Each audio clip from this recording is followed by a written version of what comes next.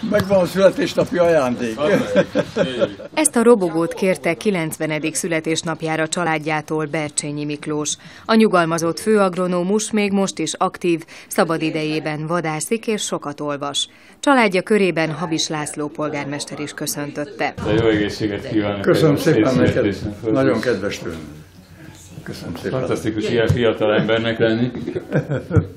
Az ünnepelt kalandos életéről is mesélt. 1923-ban Mátyásföldön született, 1943-ban mezőgazdasági mérnöki végzettséget szerzett a főiskolán.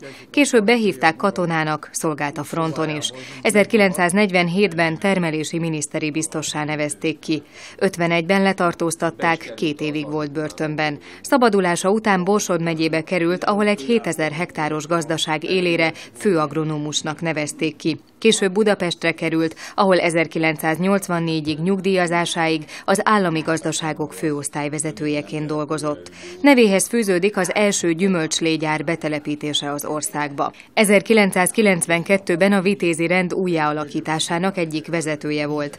2002-ben költözött vissza feleségével Egerbe. 90. születésnapját családi körben ünnepelte, négy gyermeke, hat unokája és tíz dédunokája köszöntötte. 老婆，我那爸爸爸爸。